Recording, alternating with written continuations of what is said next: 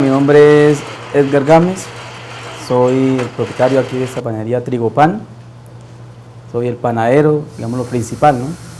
Este arte de la panadería eh, por un promedio de unos 17, 18 años.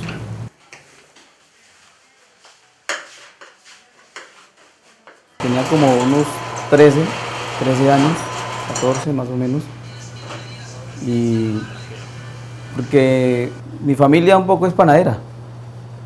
Hay bastantes familiares que tienen sus panaderías actualmente en otros lugares. Y entonces pues cuando ellos estaban acá en el pueblo, en, San Vicente, ellos eh, tenían algunos ya tenían sus panaderías, otros trabajaban en panaderías y ah, pues al verlos, eso es como de sangre, ¿no? A mí me empezó a gustar. Y ya después me, me fui interesando por aprender el cuento de la panadería. Y nosotros pues también mis hermanos son panaderos. Eh, ya entonces ahí fue cuando empecé con una tía que ella ya tenía su panería, entonces ella me empezó a, emplear ahí como de limpialatas. Empecé al, trabajo que normalmente se hace cuando uno es aprendiz, es limpiar latas, eh, lo que lo pongan a uno a hacer. Que vaya y limpie estas latas, vaya y pese mi harina, vaya y, haga esto o aquello. Bueno, ahí, de ahí empecé y después ya uno va aprendiendo. La panadería es como dijo un patrón que, yo tuve, la panería todos los días se aprende. Entonces, ahí ya después de que no lo ven el desempeño el área de la panería, entonces ya lo colocan a hacer otra cosa. Luego ya eh, nosotros, yo tenía como unos 13 años, nos, fuimos para, otro, para otra parte de, para otro municipio, y allá ya también había una tía que tenía panadería, entonces ella empezó a enseñarnos. Empezó a indicarnos cómo teníamos que trabajar. Y gracias a Dios y gracias a esa, a esa tía que, tengo, que tuve en ese momento, pues ella nos enseñó a trabajar también esta, esta área y nos, nos enseñó cómo es el trabajo de, de la panadería, de cómo uno debe de de hacer las cosas bien hechas, no solamente en, la panería, sino cuando uno empieza a trabajar, pues hay que hacerlas bien, bien hechas.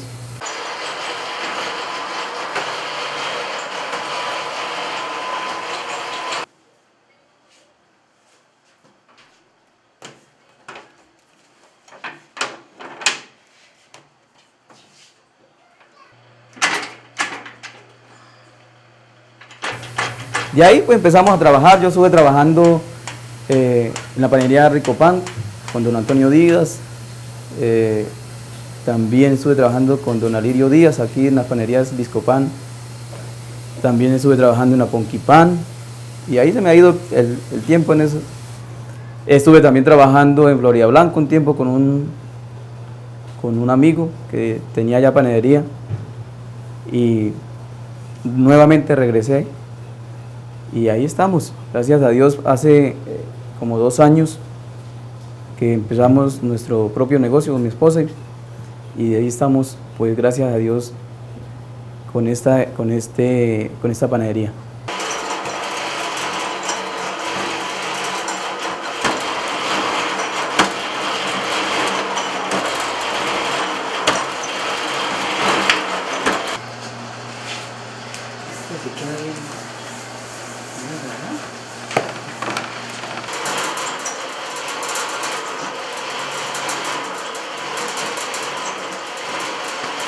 Pues gracias a Dios que, hay empleo, ¿no?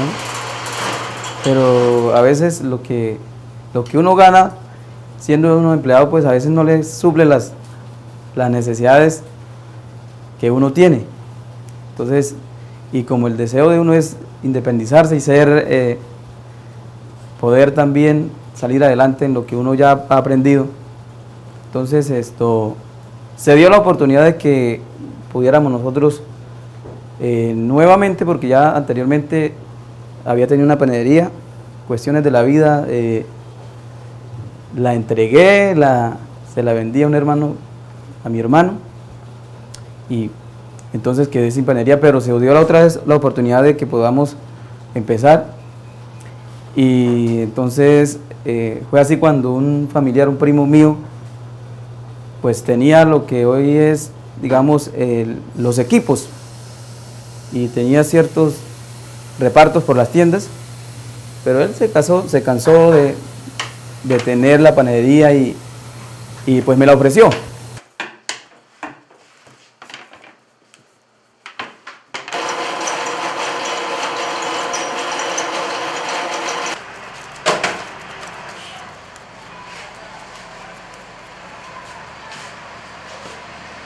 pues un poco difícil porque no teníamos el dinero. Pues nosotros eh, empezamos a orarle a Dios y que Dios, si eso era de Dios, que Él nos abriera las puertas y nos facilitara la forma de poder comprar. Entonces, bueno, Él nos ofreció, a mí me ofreció varias veces. Eh, de un inicio yo no quería porque pues me daba con miedo empezar sin, plata, porque es difícil uno empezar sin, sin plata.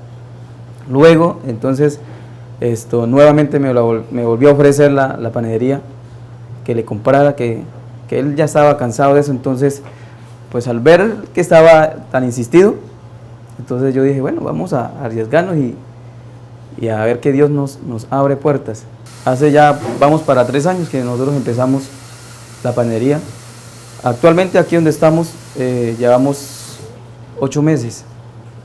Nosotros empezamos en otro lugar, pero ya vamos como un espacio de tres años, vamos a cumplir tres años ahorita en diciembre.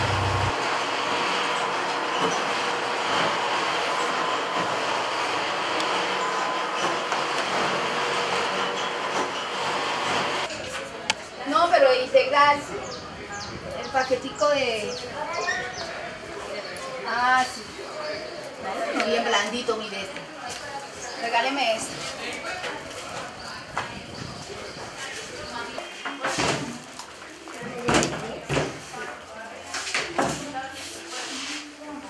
La panadería se conforma, si estamos hablando de panadería, digámoslo, artesanal, porque hoy ya pues la mayoría de panaderías se están modernizando. Ahorita en el momento pues estoy trabajando artesanalmente, digámoslo, porque todavía no, se ha podido eh, tener los implementos modernos. Pero lo que se conforma lo como, como tal equipo de panadería, de un horno, de una cilindradora, que es por donde se pasa la masa, de una batea, donde o, artesa, donde se amasa la masa, el mesón, las latas, eh, los escabiladeros donde se, colocan las latas y así más o menos para poder empezar. La, picadora, que es donde se coloca ya el pedazo de masa para que esto salga ya eh, en pedacitos para poder hacer armar el pan. Eh, ahora si hablamos de materia prima, pues ya lo que es eh, materia prima sería lo de la harina, la, grasa, la, la, mantequilla, los huevos, la sal, las esencias. Yo les invito para que se queden ahí y vamos a mirar cómo es el proceso del pan. Eh, verdad que el proceso del pan es muy interesante, no es como muchos piensan que eso es eh, rapidito, que eso no, eso tiene un proceso. Y el pan es algo que nosotros debemos de trabajarlo muy bien, porque si lo trabajamos ahí a la ligera y, sin ninguna técnica, pues no vamos a poder producir algo bueno, una buena calidad de pan. Entonces seguidamente vamos a mirar cómo se elabora el pan. Bueno, entonces como, como lo prometido es deuda, vamos a, ver el proceso del, pan, cómo es que se, se, moja, cómo es que se prepara. Acá tenemos dos arrobas de harina y vamos a, agregarle los, los demás ingredientes. Empezamos con la sal.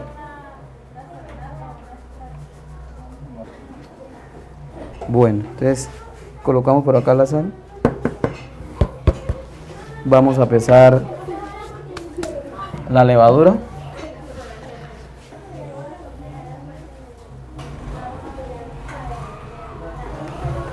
Listo. Esa la colocamos acá. Porque la levadura y la sal deben de, no colocarse en ambas al, al mismo lugar porque la, la sal le quita el crecimiento a la levadura, el efecto. Bueno.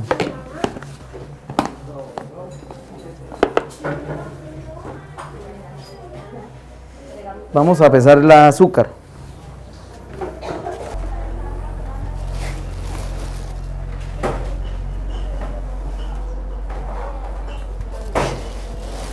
Vamos a agregarle aquí los huevos, estas dos arrobas de pan de sal. Eh,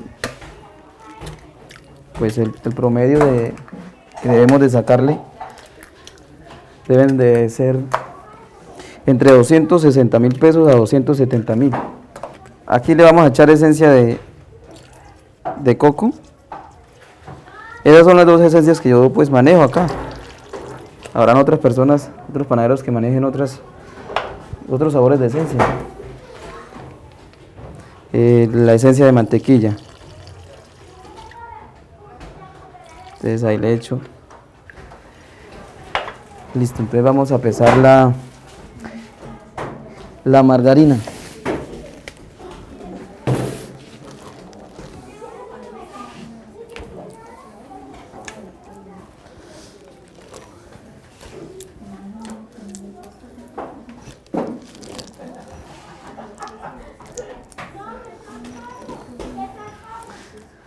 Aquí tenemos que pesar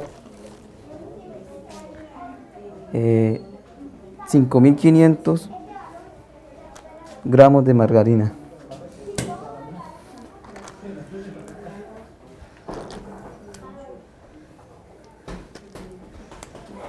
Ahí teníamos 1000 de azúcar.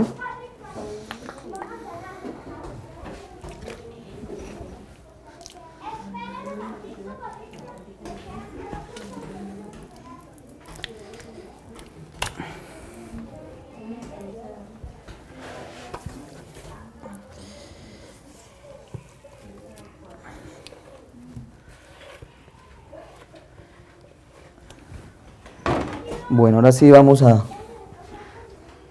a disolver todo lo que es los huevos, el azúcar y la margarina. Que nos quede bien disuelto.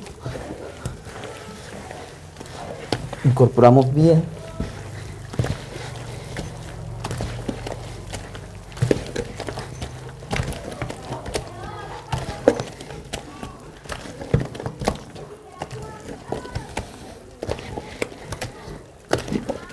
Bueno, aquí ya vamos a incorporar el agua.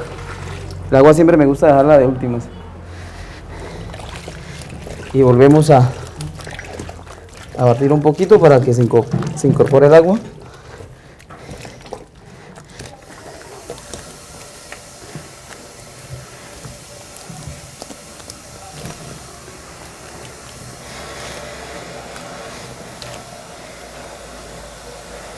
Bueno, vamos a, a echarle otro poquito más de agua para que nos alcance a,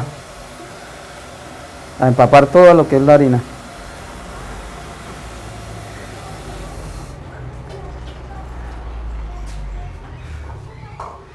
Entonces, vamos acá y dejamos un poquito para de últimos.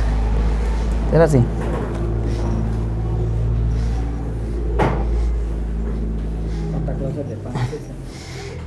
Bueno, aquí nosotros eh, en, la, en la masa para el pan dulce o masa para pan de dulce se saca varias clases de, o sea, variedades.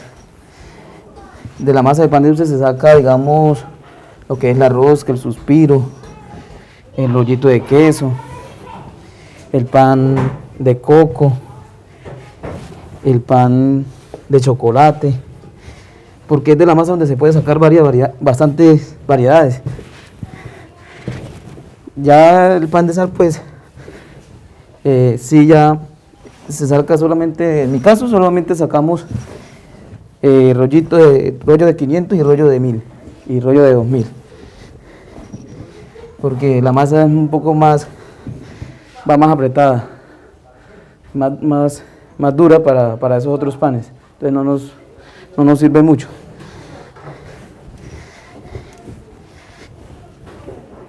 Entonces aquí lo que tenemos que hacer es incorporar bien la harina con, con lo que ya se pesó ahí en la mitad, que fue la mantequilla, los huevos, el azúcar,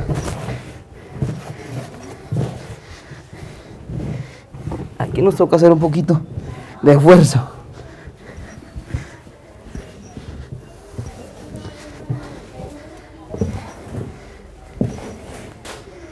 Bueno, aquí estamos, cogemos esta raspa y limpiamos todo lo que queda aquí pegado con las paredes de la, acá de la, de la artesa. Aquí voy vamos a volver a darle otro, otro batido más para que la harina que haya quedado por ahí se incorpore bien.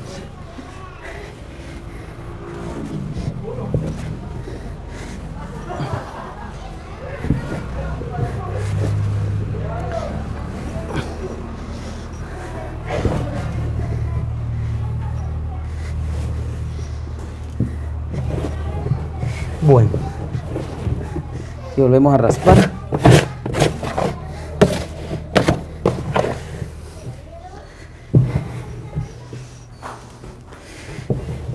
Y ahora sí vamos a hacer lo que nos falta, lo último de esto, de esta preparación, es agregarle más el agua, dándole, pues digamos que el punto necesario de agua, ¿no? Para que no nos vaya a quedar ni muy duro ni muy blandito. Entonces acá cogemos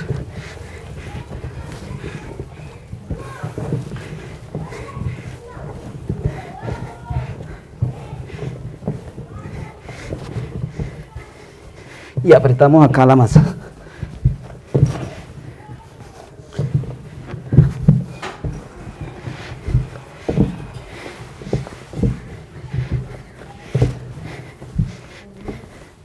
Bueno, ya apretada acá la masa.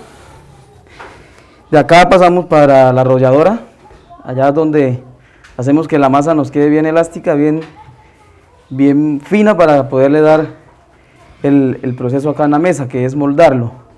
Entonces acá ya salida de- después de la arrolladora, lo colocamos en la mesa, en el mesón, ahí donde partimos la masa en los diferentes eh, pedazos. Eh, el pan de 1000 pues lleva una medida, el pan de 500 lleva otra, otro peso, perdón.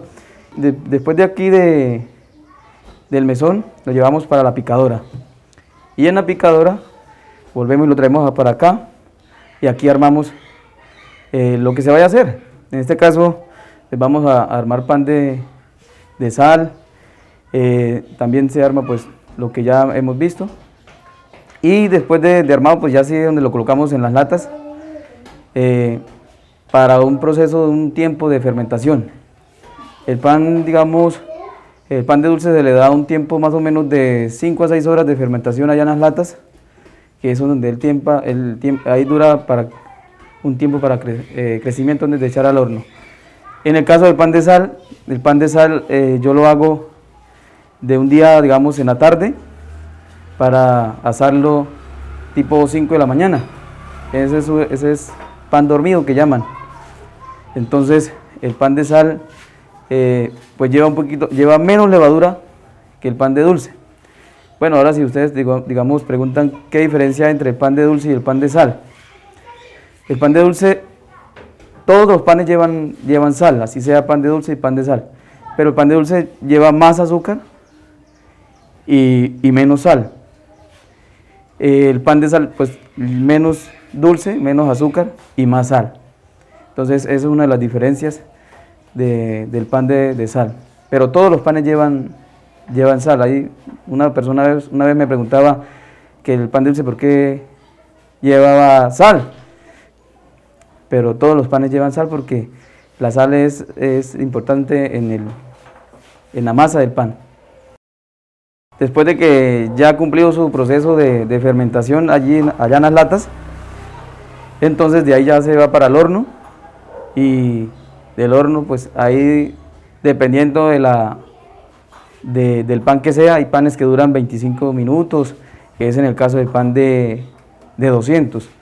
Ese pan eh, lleva menos tiempo en el horno y más temperatura, porque se necesita que ese pan eh, quede, tenga más temperatura para que quede más, más suave en la horneada. El pan de, de 1000, el pan de 2000, pues ya dura un poquito más de tiempo en el horno, ah, de aproximadamente de 30, 35 minutos a 40. Y ya después ahí, pues sacado del horno se deja reposar, se deja enfriar bien y se lleva ya a las vitrinas para venderlo al público. Hace unos años atrás yo, tuve otro negocio que no es panadería, muy, corto tiempo. Y puedo decir que ahí me fue mal. Y ahí fracasé porque se perdió un poco de dinero. Y eso lo llega a frustrar a uno un poco. Pero de todas maneras, eh, nosotros, Dios nos ha dado eh, capacidades y Él, nos dice que podemos levantarnos. Entonces, aquella persona que, está eh, pensando en quizás en, formar su propio negocio, eh, pues yo lo animo que lo haga. Y se levante y que aquí hay una muestra de que sí se puede porque como ya le dije anteriormente, eh, tuve un negocio donde me fue mal, y, pero gracias a Dios se me dio la oportunidad y puedo decir que en estos momentos Dios me ha bendecido Dios nos ha ayudado a salir adelante y, le doy gracias también a la comunidad que de acá de Yariguí 2 que nos ha, nos ha apoyado, nos han colaborado, eh, no solamente aquí los de Yariguí 2, porque vemos también que bajan personas de, la parte de arriba del, del pueblo y compran el producto. Eh, entonces, eso es, es agradable ver que, la gente llega y nos, nos compra el producto porque pues uno dice, nos han dicho que es bueno el, producto que nosotros elaboramos acá. Entonces, para motivarlos, que si desea usted montar su negocio, pues eh, métale esas ganas que se necesita para hacerlo. A veces, eh, a veces sin, sin recursos, pero pero a medida que se van dando, las cosas, entonces eh, se levanta uno. Empezando que la Biblia, la palabra del Señor nos dice que, Él es el pan de vida, ¿no? Entonces lo podemos relacionar algo con esto, porque el pan, el pan como tal, pues es una bendición y, es algo que, nos suple nuestra necesidad eh, física, ¿no? Porque uno con un pan, una persona, una familia con un pan se puede alimentar, ¿sí? Ahora, espiritualmente hablando, la, palabra del Señor dice que eh, Él es el pan de vida. Entonces nosotros como seres humanos también necesitamos no solamente del pan. La Biblia dice que no solamente de pan vivirá el hombre, pero Jesús llama que Él es el pan de vida, entonces también podemos, podemos acudir a tomar ese pan de vida, que nos va a servir más que, un pan de estos que nosotros laboramos acá. Porque el pan nosotros nos lo comemos y al rato tenemos hambre y necesitamos nuevamente. Pero el pan de vida es el que nos sacia nuestra necesidad espiritual y nos va a ayudar para siempre, para nosotros poder ser mejores delante de Dios y a nivel de la sociedad también.